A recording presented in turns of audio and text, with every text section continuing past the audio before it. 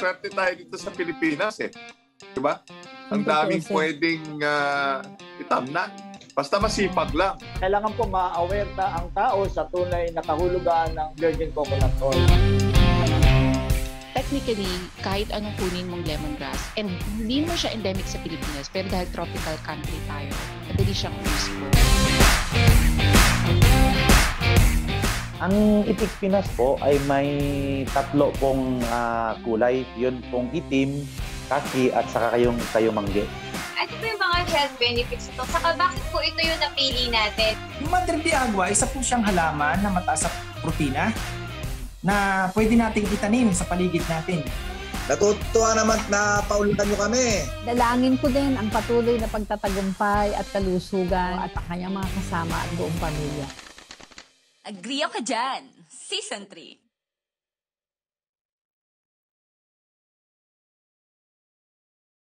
Magandang araw ako po si Amy po. Ikaw dito ang agree ako dyan. Ngayong araw, kasama ko po muli ang ating napakagandang co-host, si Dr. Corazon Occidental na merong malaking puso para sa agrikultura. Hello po!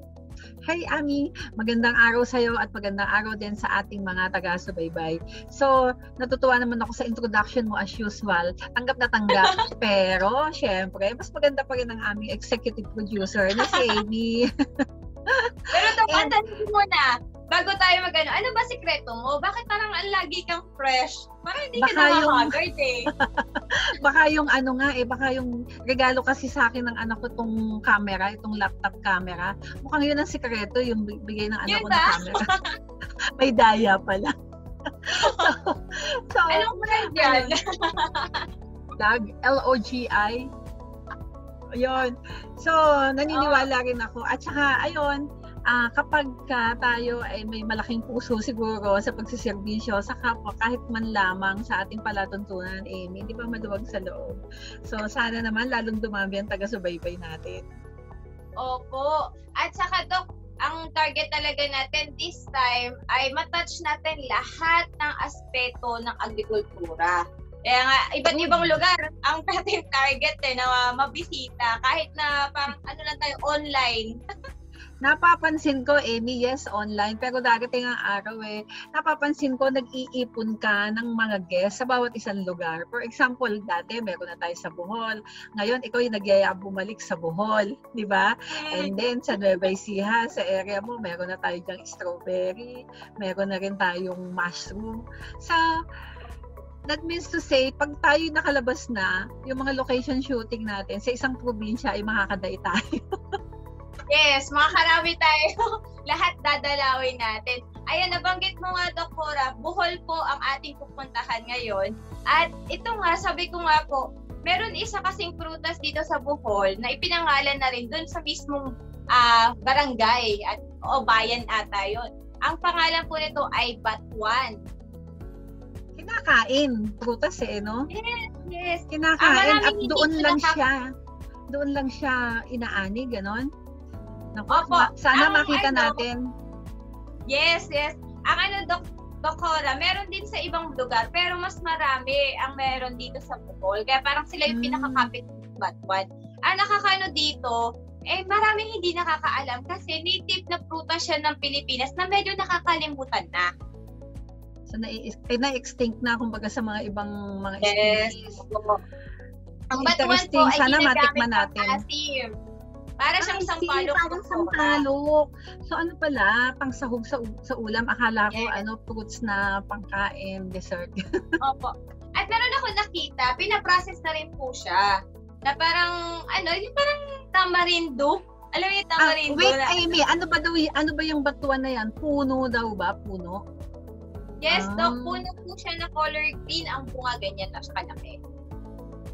So, ibig sabihin, tuloy-tuloy siya. Tuloy-tuloy ang bunga taon-taon. Pag na, okay. Ang swerte naman ng bayan na yun, ano? Batuan, yes. isang bayan sa Bohol, ay mayroong sariling brand, kumbaga.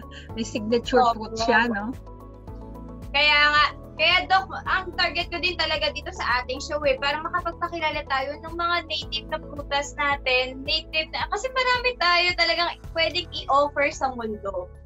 ba? Lalo na dito Aside sa larangan from- ng agrikultura. Aside from i-encourage natin sila na magkaroon ng ah, additional na hanap buhay, i- ma-educate pa 'di ba sa mga unique fruits like ah, like yeah. At saka balita ko itong ating guest, meron din siyang ang ipapakitang unique bird na kahit alam mo sa VetMed, ngayon ko nga lang narinig yun eh, yung lamang na Mm. bird na yan, na meron palang ganon, frog mouth. Pero siguro yung mga veterinarian na under sa nag, naging dalubhasa sa mga exotic animals, makaalam nila yun. Opo, saka yung mga taga-Bohol. Sigurado Lagay ako ko. alam na alam nila yon. Kaya Doktora, ah, excited ako na makasama itong ating guest at sigurado ako na katulad ng iba nating mga guests, ay marami tayong matututunan sa kanya. So, yan po ang aabangan ng ating mga kababayan. Ito po ang Agree Ako Dyan. Agree ako dyan.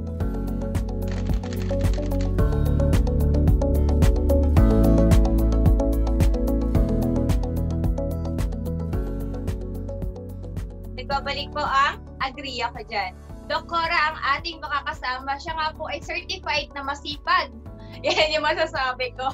At Masipag siya- at well-rounded. Yes, yes. Siya po ay graduate ng agriculture at siya din po ang may-ari ng Jolit's Eco Garden Farm sa Bohol. Imagine, Dokora, Bohol! Bohol, Bohol naman tayo tayo ngayon. No? Isang araw nasa Coron tayo. Ngayon Yes. naman ay nasa Bohol. Kaya maraming Opo. maraming salamat, Jomer, sa pagpapaunlak mo sa aming palatuntunan. Alam mo naman ang advocacy namin ni Ami. Eh, talagang makapagpalawak ng agriculture at saka Opo. farming industry. Yan sa ating mga kababayan. Salamat Ito po po. si Sir Jomer Balag. Hello, sir. Hello po, magandang hapon po. Good Jomar. afternoon din po. Jomer, ayan, um, kwentuhan mo naman kami ni Amy para maging ah, inspirasyon sa ating mga taga-subaybay. Paano nagsimula ang Jolets Eco Farm at ah, kailan kayo nagsumpisa at ano-ano ang mga priority na na inalagaan nyo dyan? Okay po. Ah, ang Julius Eco Garden po, nabuo po ito dahil po sa aking asawa at ako po. Ah, tinatawag ito pong Julius Eco Garden kasi from the word humor and Lisa po. Saka ah, nagawa po ito dahil sa ano, nakita ko po sa ah, sa pamilya ko na kailangan talaga ang sustainable na ah, sustainability sa pagkain kasi sa ngayon Ah, before nga, sa wala pang pandemya, ano, ah, pag bumibili ka ng gulay, halos makikita mo, well sprayed na ta lahat, chemically sprayed na lahat. Kaya, kasi ang gusto ko Excuse, namin na, Jomer, excuse Jomer, you, Po. you mean to say hindi muna sa pag pagnenegosyo ang una mong objective. Po. Ang objective nyo lang maka, maka, magkaroon ng mga available na pagkain para sa inyong po. pamilya. family ko, hindi po ako nagnais noon na, ano, for business po. Yung, yung goal ko is for sustainability sa pagkain ko ng pam- family ko, sa pamilya ko.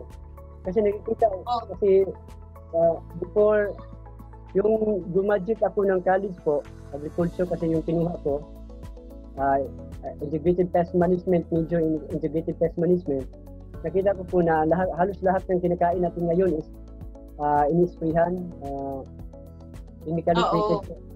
Y- ibig sabihin, uh, kahit diyan sa Bohol, sa malayong ah, mga lugar, lahat ng magsasaka gumagamit ng mga Hira lang yung nag, ano, nag-organic po. Alam natin Yes, na ang mga sakit, halos lahat ng mga sakit is cancer po. Grabe. Opo. Dahil sa mga spray ng mga chemicals po. Yes, dahil sa mga chemicals. Pero sir, ano yung pinakamalaking hamon nyo sa inyong pagsisimula? Katulad sabi nyo nga, eh, lahat tayo gumagamit na tong mga pang-spray at ikaw ay medyo kumabila. So, ito ba yung isang malaking hamon sa inyo? Yes po, malaking hamon talaga kasi halos lahat ng mga tao, ano, negative yung mga ah mga mga ano nila pananalita sa akin kasi sabi nila ba't nag ano yan? Ba't nag yan walang chemicals mag ano ba yan? Marami bang ma maani ang paggagali mo? Hindi naman chemical treated at ang yung iba naman ba- bakit raw ako nag gumagawa ng fish pan eh, wala namang sustainability or wala namang tubig na parating dumadaloy kasi yung Oo. ko is 70 minutes Pero Stagnant, nahanapan ko, stagnant water. Oo. pero nahanapan ko ng pamamaraan. Pinagis Yes. sa pamamagitan po ng ah, aquatic plants po para Mm-mm. maging malinaw yung So na nag, nakuhaan mo ng interrelation ang ah, aquatic Yes, sir. plants Yes, para magkaroon ng Hmm. Po, lahat ng ano nila, yung mga sinasabi nila is negative sa akin kasi nagpipisa So lalo ka na challenge. Yes po, nagpipisa ako, nag-rabbit ako, nag-English speaking ako, nag, ah, nag ano na po ng mga bulaklak. Sabi nga ng ano ko, ng, ng, ng tatay ng asawa ko, sabi niya, ba't ka nagtatanim na maraming bulaklak? Instead, ang paramihin mo yung mga vegetable. Kaya ang tanong ko rin sa kanya, ko rin sa kanya, ang, ang sagot ko sa kanya is, ano to, for certification purposes at hindi natin alam sa panahon, sa darating na panahon, baka mabinta ito. Ah, Mm. Yung, yung sabi niya naman, hindi yan mabinta kasi bukid, bukid dito. So malayo Okay. sa ano, Malayo sa city. O kumusta naman ngayon ang iyong mga bula, ano pangatanim na bulak bulaklak? ah, naubos na po eh. Kapag, Ah, hindi na, tuloy. naibenta na. yes lahat po. Hindi, sa ngayon, Wala ka ng flowering plants. Yes, marami po akong bulaklak, pero halos lahat yung mga mamahalin, nabinta ko na lahat. Kaya nga Ah, mga... tuloy. ano Wow, tuloy-tuloy ang benta. So, so medyo napatunayan mo sa father mo na kahit na nasa malayong lugar kayo, ay marami ubus pa rin ang mga bulaklak. Ano ano yung mga bulaklak niyo dyan, Jomar? Mga philodendron po, philodendron, bougainvillea. So halos lahat po. Orchids. Oo. Halos lahat po nandito. At halos lahat din po ng mga ano mga aquatic fish or mga isda nandito po. Noon, no, sa ngayon, wala na silang mga komento, puro positive po. Kasi alam nila na ano, ah, Naka, naka-gain na siya, amin, ng respect sa kanyang field. sa Oo. po pumupunta dito, nagpapaturo. Yun. Yes. Lagi tayo sa Bohol po. Opo. Sir, kasi ang parang nakikita ko no, isang challenge sa mga organic farm is yung sa lupa mismo. Kasi alam naman natin, mataas ang acidity ng lupa. At hindi din ganun kabilis yung transition. Kayo po, paano nyo po ginawa na yung mga lupa nyo ay maging ah, organic, ah, ang tawag dito, ah, pa- pang-organic. Yun. Paano nyo nag-transition, na-convert yung inyong mga lupa? Yes. Dahan-dahan lang po, unti-unti. Ka- Kailangan talaga taas, ah, mataas yung ah, pasensya mo. Kasi Tsaga. Pasensya. Tsaga. Oo. Kasi Basta- fermented product po. Yun. Product, glycan. Desidido ah, siya, Amy. Desidido siya kahit na anong marinig niyang ah, negative at saka challenge. So, ngayon naman, sa tinagal-tagal, mahigit sampung taon na ba ang iyong eco farm? Than po. So talaga bang Oh. masasabi nating isang organic farm na na established organic farm ang Jolit's Eco Garden at bakit? Po. At ito po ay established learning, uh, learning site as organic farming uh, organic farm po. Sa Quezon po. Kasi masasabi ko na organic talaga ito kasi lahat ng mga farm inputs ko na ginagamit ay galing po sa organic organic po. Animal Mhm. manure, vermica, carbonized rice hull po, uh, decomposed rice hull, at gumagamit rin ako ng fermentation po. Fermented product po. Ay, sir, meron kayong mga certification yan. As, as ngayon po, ang PJS, ah PJS Bu- Bohol po, hindi, hindi, hindi pa kasi ano, hindi yung certification as organic po eh, dito sa Bohol. Pero Wala. matanong matanong ko lang, total na pag-usapan ng certification. Um nakatulong lumapit ka ba sa Department of Agriculture sa Bohol at nagkaroon ba sila ng positive im- impact din sa iyong negosyo? Yes po, kasi ito po is ano, ah, awarded po ito sa ano po, tuhid sa malang puso mag-uumang bulanin po. Congratulations. Narinig mo yun, Amy. Bukod sa successful siya, nagay niya yung trust ng mga kababayan niya. Multi-awarded pa siya. Yes, opo. Kaya Baclaran po, nakaka- sa municipal proud. hospital. Um, panghani ba yung mga bubuyog mo? O bakit mo siya pinapadami? Kaya pala, ah, ang main purpose po ng stainless beef or bubuyog po na mali Ang purpose ko po is for pollination po. Pollination sa mga bulak bulaklak, Ami. Prutas ng mga bulaklak sa mga prutas po. At saka vegetable ko po. Oh. Kasi yung mga lumilipad na bubuyog, nagbibit-bit yan ng mga ano eh, mga pollen ba? Pollen, tapos lumalaglag, tapos lumalaki. Ganun ba? Mahal Ganun honey Tama ba ako? Ha? Isang tanong, tapos eh, si Amy na ang magpapaklarify. Malaking bahagi ba ng inyong farm ang mga bubuyog? Yes po. Ito po yung ano, yung ah, mas malaking na itulong sa aking farm sa pamilya ko po kasi yung colony po binibenta ko po ng 3,500 po per colony. At saka Uy, yung uy, honey mura po, yun na. 3,500. Mura yun. Dito sa Luzon, Amy, magkano ang dinig mo? May pinagtanungan po ako nasa 15. Pero ang hirap naman ibiyahe. para sa pagpuri. mauubos sa mauubos sa daan sa barko. Yung nakadeliver na, na para pag-deliver na po ako dyan sa Cebu, mga more than 30 colonies po. Po. Kasi one hour lang, Amy eh. One hour yung boat, Bohol to Cebu, hindi ba? Yes po. Ba, Ayan, Luzon? Pwede. Po? Magdamag, magdamag na pag sa Luzon, Jomar, mahirap. May Ano? mga Luzon area okay po lang po pwede kasi kaya. ah yung stingless bee po, pag mabubuhay sila for one week na hindi kumakain, hindi lumalabas. Ah, ah, okay. Ay, sir, Kaya ito pa-follow up lang ako ng question no kasi 'di ba ang stingless bee ay maliliit lang. So pagdating nila sa ano sa pagproduce ng honey ay hindi din ganun kadami. Tama ba? Yes po, hindi rin hindi ganun karami compared sa pukyutan po. Pero yung mm, health benefits po niya grabe. At saka mahal po. So imagine po 100 ml is 300 pesos po. Then sa for one colony, you can harvest at least 400 ml po. For 7 400 months. Yes, for 7 months po. 7 months to 1 1 year. Ah, 7 months to 1 year ang production nila ng honey. Nakakaipon. Yes po. Oo. Pero, ano siya, hindi, hindi mo na kailangan pakainin to. Opo. Eh sa inyo sir, ano na yan eh, plus factor kasi meron na kayong mga halaman dyan eh, di ba? Hindi ka na maghahanap ng, ano, ng source ng kanilang mga pagkain. Pagka ba rainy season, dito, opo sir, di ba pagka rainy season, hindi ba mahirap para sa mga bubuyog kasi syempre umuulan, hindi sila lumalabas. Tama ba? O or iba ang kaso ng stingless? Iba yung kaso ng stingless po compared sa pukyutan po. Hmm, Kasi pag umulan, dahil sa maliit po sila, okay lang sa kanila Oo. lumabas. Basta marami kasi mga marami kasi mga coconut eh, yung paborito nila coconut.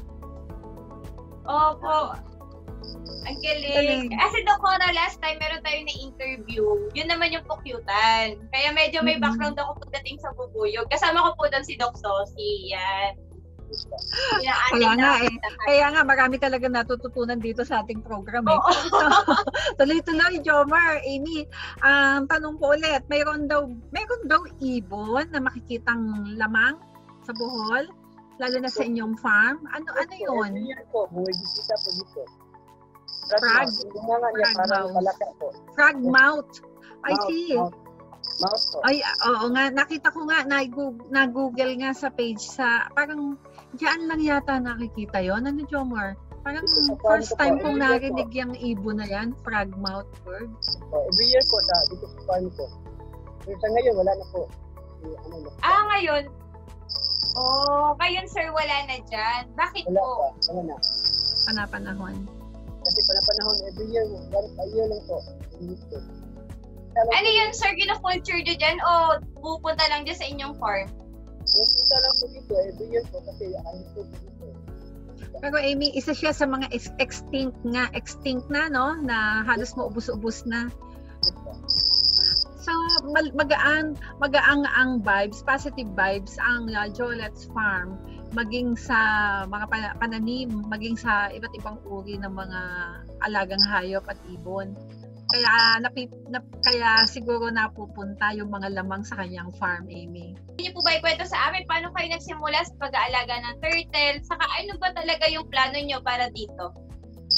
Ah, yung una po, hindi po ako interesado sa isang lang po po yun. Yung yun po, yung local bird. Pero yung nakita ko na dala-dala ng mga bata ko, ano, ah, ano yung tawag ko? Nakita ko yung mga bata ko na dala-dala yung mga turtle at tapos pinaglaruan. So naisip ko na how about uh, paralimos sila. Doon lang nag-umpisa, naaawa siya sa ginagawang laruan yung mga turtles. na ano ko naisip ko na pag walang nagpaparami sa turtle ko, darating panahon mo. Mauubos. Sa ngayon, under ano po ako, under preparation ko for Okay, Jomar, parang ah, ang ganda ng mga imagination namin ni Amy sa farm mo. Talagang isa sa pri- priority namin, oras na maging ah, open na ang ah, quarantine natin. So, bukod sa mga napag-usapan nating animals at saka mga plants kanina, kwentuhan mo pa kami ano-ano pang mga hayop ang makikita dyan. So, ano, nag-alaga rin po ako ng karniro po, kambing, Ano yung kalabaw. kanyero?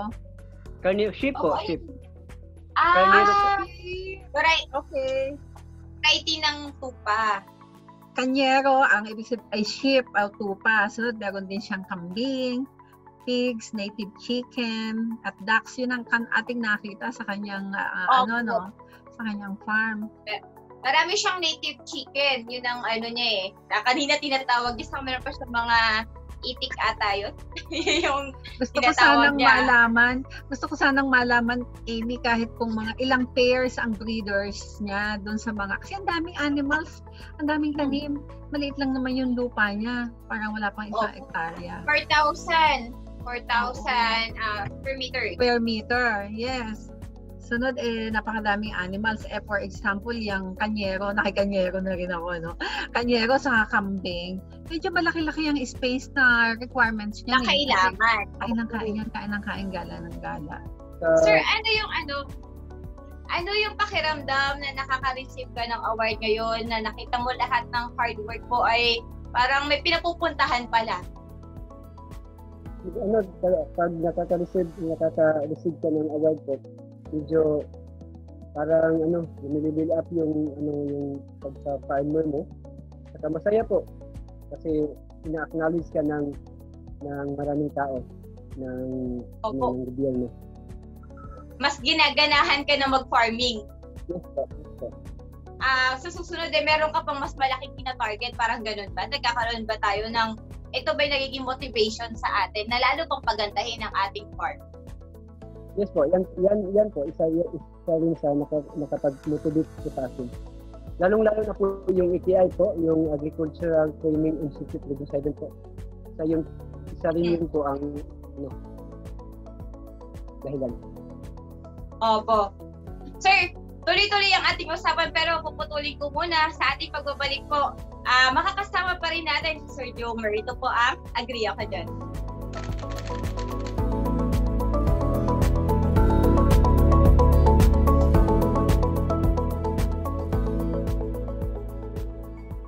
Nagbabalik po ang agree ako dyan.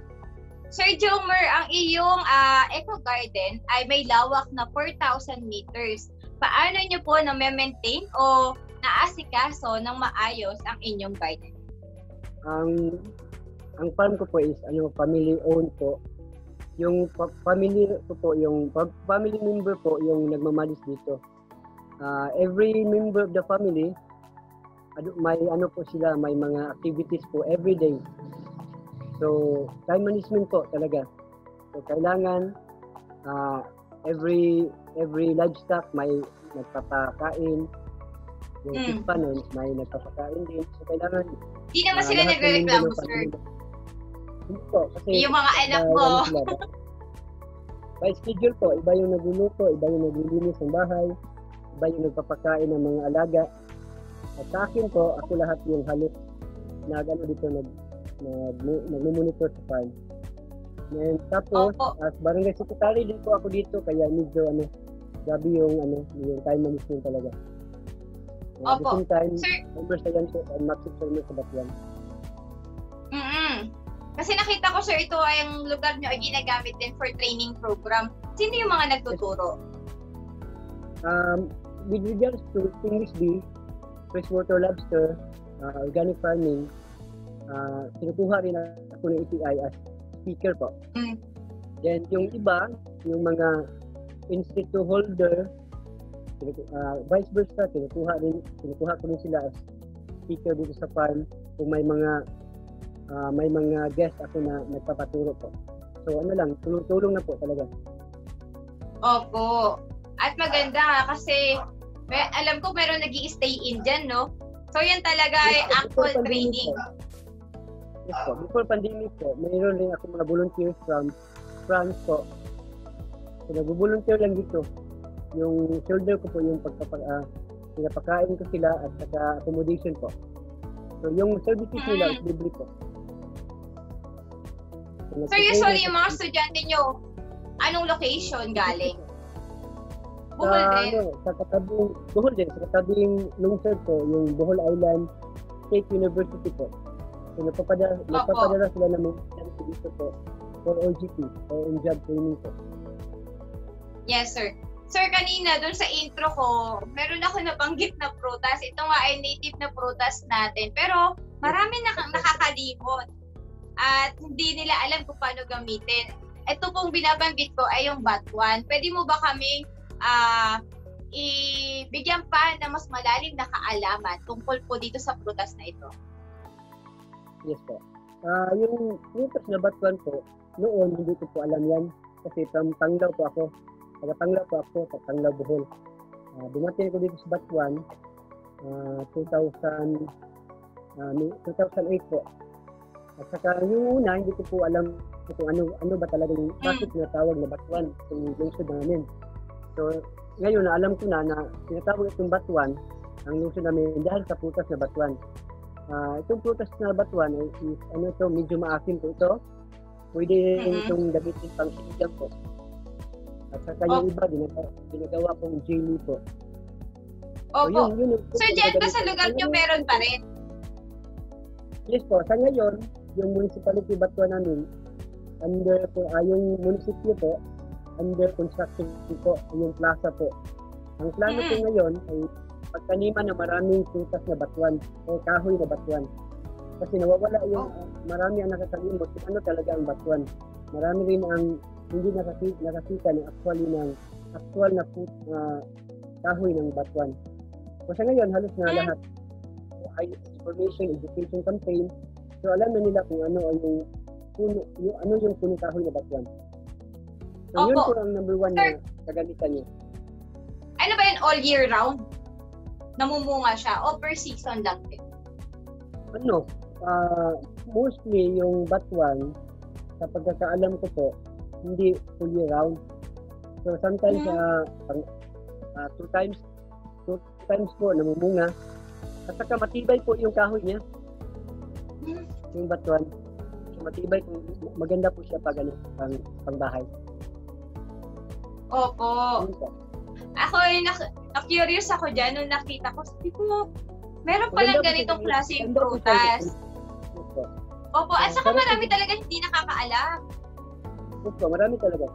Masarap po siya pang sinigang.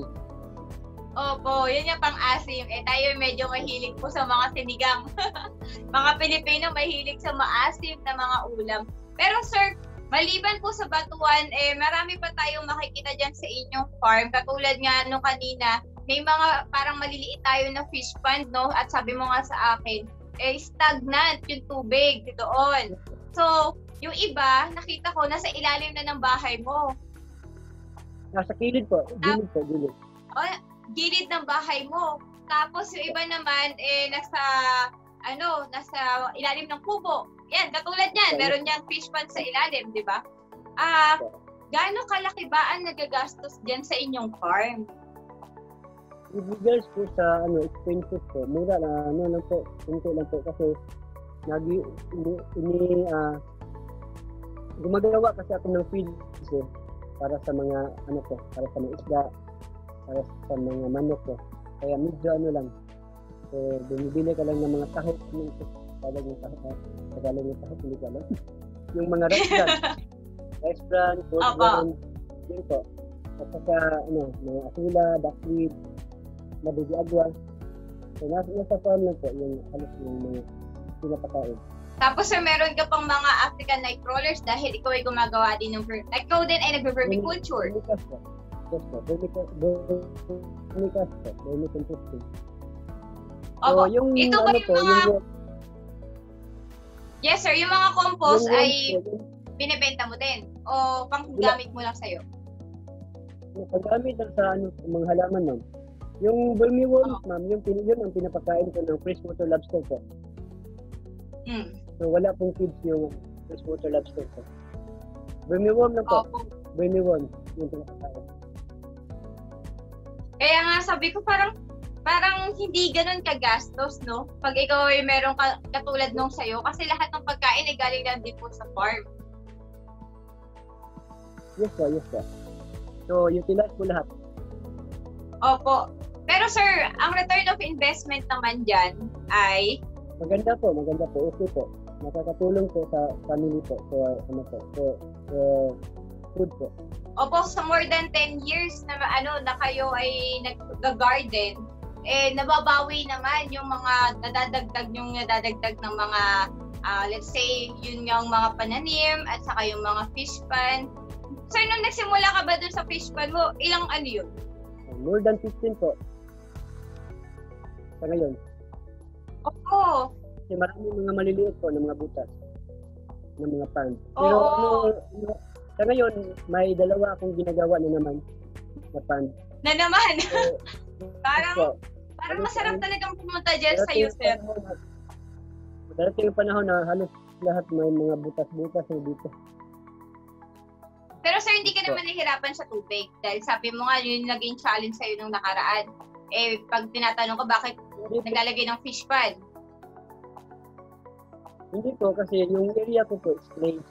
So yung clay soil po, mas ma- maganda po yung nag nag-hold ng water po. At saka ano, ma medyo meron na po akong anong source ng tubig ngayon, so wala na pong problema. Opo. Nakasimento na rin po yung iba, nakasimento rin po. Oo, yun nga, yun nga yung nakita ko eh, nakasimento, tapos marami talaga siyang mga ah halaman. Sir, ano tawag po dun sa halaman na nakapalutang-lutang sa inyong fish Aquatic pan? plant po. Aquatic Yun ang yun. ano, parang yun ang susi para kahit na stagnant ang tubig ay okay din. Nafi-filter. Tama ba? po, kumukuha, yes po, filter po, filter, kumukuha ng mga baho ng, ng water na nagpupurify purify po ng water. Kaya ma, medyo malinaw po yung tubig. Pinatunayan ni Sir Jomer na sa pamamagitan ng kanyang Jolly's Eco Garden na ang eco farming ay may benepisyo hindi lang sa kanyang pamilya kundi sa kanilang kapaligiran. Hanggang sa muli, ito po ang Agree Ako Dyan.